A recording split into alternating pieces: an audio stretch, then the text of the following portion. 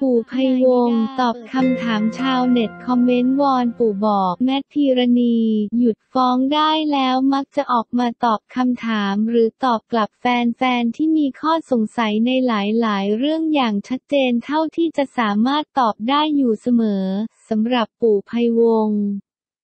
เตชะนรงค์คุณพ่อของไฮโซหนุ่มสงกรานต์เตชะนรงค์ซึ่งล่าสุดก็มีคอมเมนต์จากชาวเน็ตได้เข้ามาชี้แนะอีกหนึ่งความคิดเห็น หลังจากที่หวานใจของลูกชายแมทพีรณีคงไทย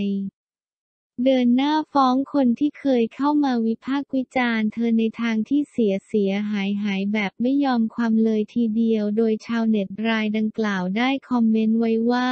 สุดยอดปู่ แต่อยากบอกปู่ให้บอกสงและแมทพอเถิดนะเรื่องฟ้องประชาชนผู้เสพข่าวด้านลบทำไปโดยไม่มีข้อมูลเท็จจริงสังคมไทยอาจรักครอบครัวรักปีใหม่เลยโกรธแมทกับสงเลยด่าไม่คิดทุกคนลำบากมากจะกินก็ไม่มี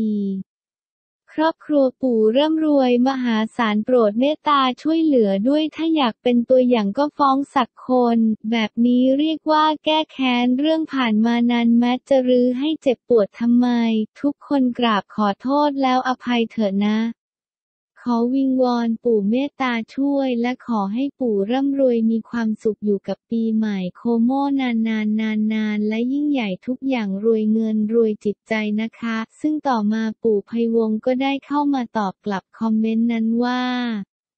บอกผ่านสงไปให้แล้วครับว่าเวรต้องระงับด้วยการไม่จงเวรแมทพีรณี เปิดใจสองปีที่ไม่เคยพูดเผชิญหน้าเกรียนคีย์บอร์ด พร้อมให้อภัยแต่ไม่ยอมความเริ่มแล้วแมทพีรณี